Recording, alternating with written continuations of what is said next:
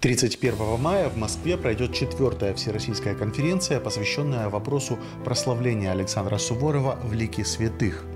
Образ великого полководца, не проигравшего ни одну из своих многочисленных битв, будет раскрыт в том числе с малоизвестной стороны – миссионерской.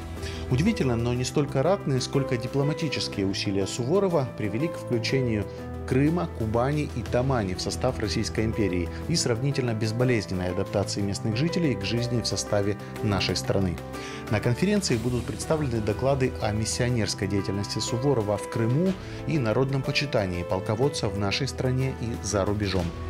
В этом году исполняется 240 лет подписания меморандума Екатерины II присоединения Крыма Российской империи и 240 лет создания города Севастополя. Безусловно, что большой вклад в эти победы внес Александр Васильевич Суворов.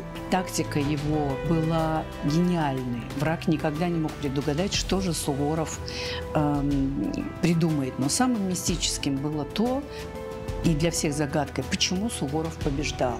Мы знаем его религиозное воспитание, его отношение к солдатам, что перед каждой битвой читался молебен, после каждой битвы читался молебен э, благодарение за победу. И наша конференция будет посвящена этой теме. Религиозное мироощущение Суворова – Конференция, посвященная величайшему русскому полководцу, называется «Главный помощник в бою – Бог. Миссионерская деятельность Суворова».